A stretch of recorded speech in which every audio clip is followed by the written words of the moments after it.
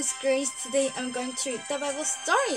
Today's the Bible title is um I guess this one will be the last story.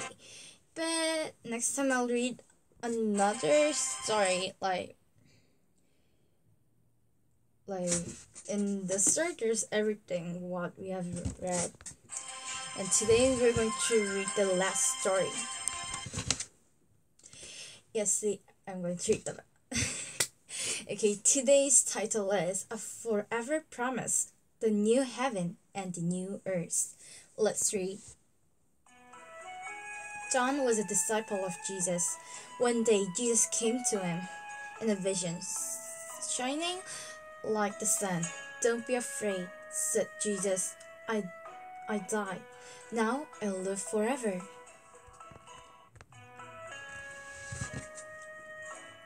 So John was a disciple of Jesus, and one day Jesus came to him in a vision,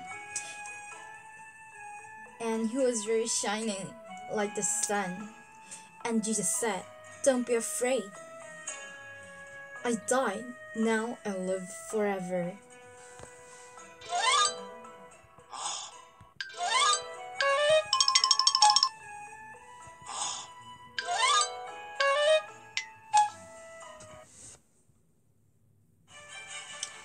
Then John saw new heaven and a new earth, and, and new earth, God's promise, new creation.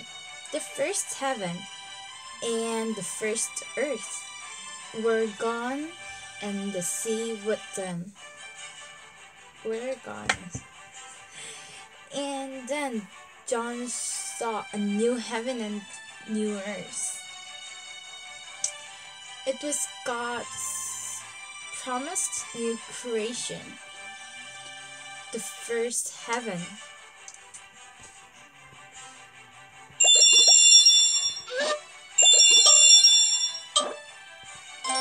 Question How did Jesus appear to John? Number one, uh, shining like the sun.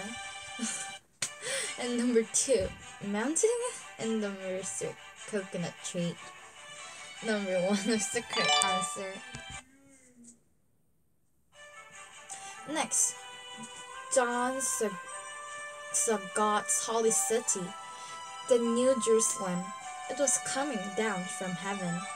It was beautiful, like a bird right on her wedding day, ready to meet her husband. So, next, John saw uh, God's holy city, the New Jerusalem, and it was shining and it was beautiful.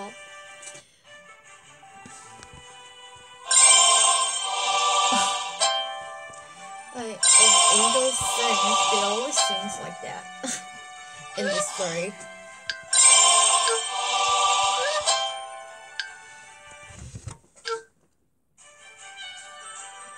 Then John heard a loud voice coming from the throne of God saying, From now on, God will make his home among his people, and they will all live together.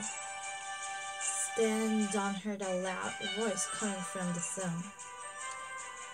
It was of God saying, and God said, From now on, God will make his home among his people, and they will all live together.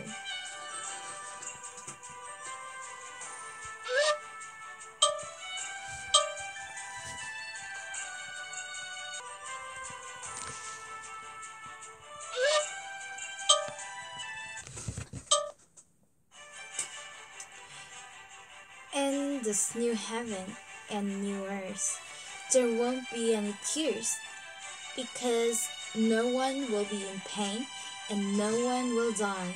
Those things are gone forever. So in the in this new heaven and the new earth, new earth, God said there won't be any tears. No one will be sad because there will be no pain and no no no one will die and those things will oh, and those things will gone forever.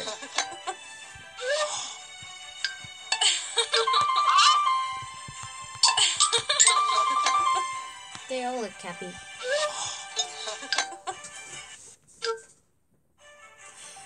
then the voice from the throne said, I am the beginning and the end. If you're thirsty, come to me, and I will give you the water of life. Then the voice said, God said from the throne, Oh, I am the beginning and the end. If you're thirsty, come to me, and I will give you the water of life.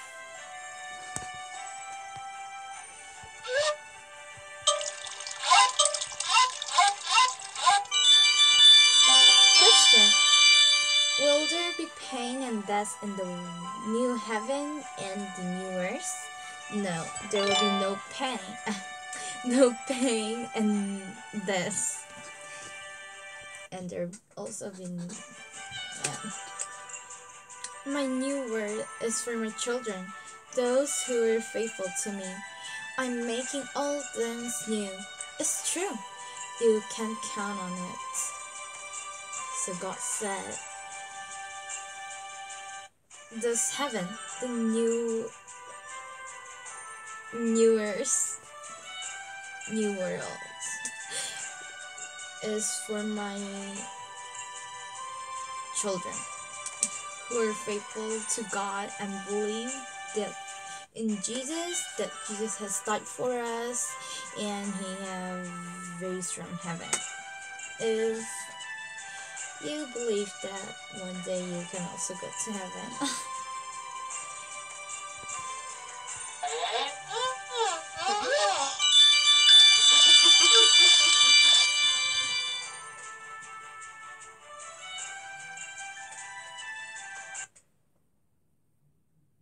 Question The new world will be for those who believe in Jesus and are faithful to Him. True.